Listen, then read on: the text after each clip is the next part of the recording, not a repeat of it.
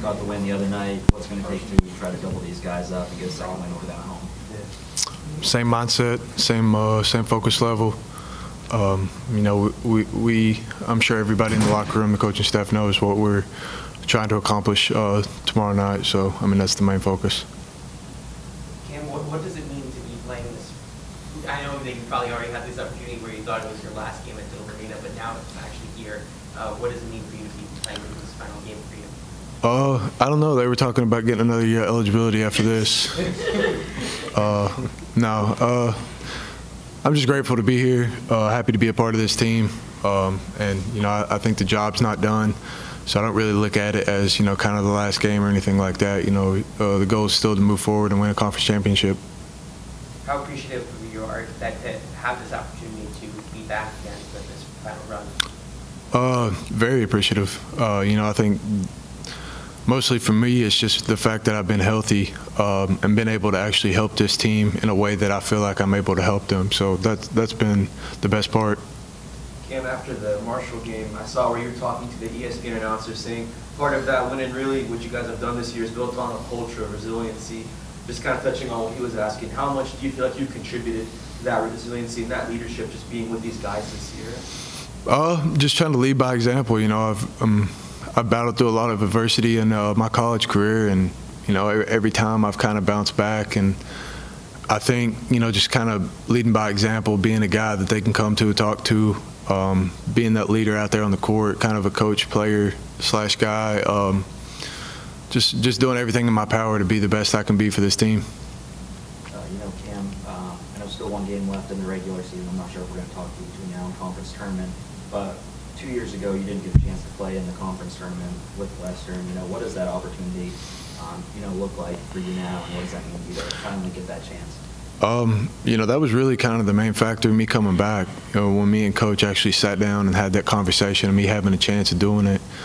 Um, and he asked me if I was willing to do it, and I told him, yeah, immediately because for me this was going to be my closure package of you know basketball. Um, you know, like I said the other day to uh, some reporter about you know being an athlete your whole life, the end of a season is with a tournament. And in that tournament, you either win the whole thing or you get beat out of it. And that's just the way it is being an athlete. Uh, that year, I felt like we were capable of winning the championship, but, you know, it was never got to find out. So it was kind of just like a open, hollow feeling uh, left inside my head and my stomach. So, I mean, it's been, it's been good knowing that we've made it this far and we're going to get that chance to play. You know, what do you remember about that day when you found out the tournament was going to get canceled because it seemed like it was all that came across really sudden. You know, there were teams in Frisco warming up for their games just a few minutes away from starting. Uh, really, it was a it was a strange feeling. I think more or less that like the the whole country, the whole world was pretty much been put on pause.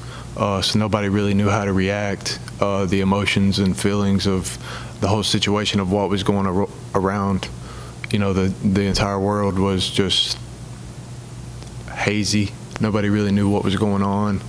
Nobody knew what to expect. So, I mean, at that moment, I wasn't really thinking about basketball. I was more worried about, you know, like, is this going to happen to me? Is it going to happen to some of my family members, you know, close friends or anything like that? So, um, the more I thought about it, it was bigger than basketball. So, is what it is. Josh. Um, you know, last year, your last game here could have been, you know, your last game here. You get to end it with, uh, you know, posing for trophies with Tay and the guys and stuff. You know, coming back and yeah. and playing this whole year, what's this experience, you know, been like? You obviously not done yet, though. Uh, well, yeah, like you said, we're obviously not done. But at the same time, you know, it's been great. You know, I got uh, to play the last game in Diddle, or what I thought was going to be my last game in Diddle last year with a uh, with a great group of guys. Some guys, you know, that's going to be my friends, my family members forever. And now I get to come back and do that again with another great group of guys. So it's just, I don't know. I, I feel like it hasn't hit me yet because the job's not done and we still got to play games and go out and do what we want to do. But at the same time, it's just, I'm just grateful to be here I guess this applies to you too, Cam, when you step out and see the EA Diddle fans, Western fans, and you walk off for the last time, regardless of how the game goes, what's going to go through your mind? You know, what do you anticipate those emotions being like once you walk off that court for the last time? Uh, mm, that's a good question. Um, I mean, as long as we get the job done, you know, everything's gonna be everything's gonna be cool. So I feel like that's just the biggest, you know, the biggest thing that we're worried about is just going out and get the dub. Uh, you know, Josh, uh, at Marshall the other day, you tied the program record for games played, and on Saturday, you will break that record. You know, what does that mean to you, being the guy that's played more games than anybody else in Western Kentucky basketball history? Um, I feel like it's a it's a great honor, just from from all the guys that has played here in the past. Um, just for me to say that I played the most games here, I feel like it's a great honor, and um, I'm just happy to wear it. Josh, I know that you've had many electrifying dunks over your career here, but one of them is right back here, that dunk against Marshall. You looking to do that in your senior day again against Marshall? Um, that would be nice to go out with a with a nice dunk like that, but like I said before, I feel like as long as we get the win, you know, everybody's gonna be happy. You know, going back to that very first game you played, it was against Marshall, tied the record against Marshall. But going back to that first game, um, you know, kind of middle of the season, getting to play, what do you remember about that day and, and that game? Uh, probably one of the happiest days of my life, for real. Just I remember just getting that call and just being so happy and so anxious to play my first college basketball game because, you know, it was just a dream for me growing up, you know, all through elementary school, middle school, high school. And um, just for that time to finally come, you know, I had to wait it out for a little longer than I thought. But when it came, I was just happy and anxious to play. What was that call from Rick? Um, I think I got the call from Zach. Honestly, yeah. You had to go home and pack, right?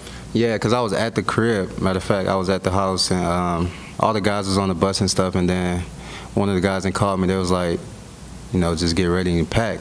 And I thought they was playing kind of, so, you know, I just started packing, got on the bus. And then that's when it finally hit me like, yeah, I'm about to play my first college basketball game. You know, how much of a leadership role and, and an increase in what you do on the court have you seen, um, you know, this year being that fifth year guy, one of the older guys, and, um, you know, I guess how do you feel like that's gone this year? Um, I feel like it's it's been great. You know, just being an older guy, I feel like guys kind of levitate to you because they kind of know that you know you know what's going on out there, and you you've been through a lot of stuff and just seen a lot of stuff, and they come to you for advice, and it's just great to just give those young guys advice and just help them with you know navigate throughout their career. You know, you and Tay, um, you know, were kind of those first couple of guys that Rick brought in. You played your first four years with him, and obviously your friendship's pretty well documented. Yeah. What's it been like, you know, this year without having him here, and what's your relationship like with Tay now? Um, actually, me and Tay, we talked the other day for real. But we talk every now and then, just check up on each other, see how everything's going with each other. But um, I mean, it's just great when you could have friendships like that and just play ball together. And I mean, it's just it's a great feeling to have that and just know that that's going to be there forever.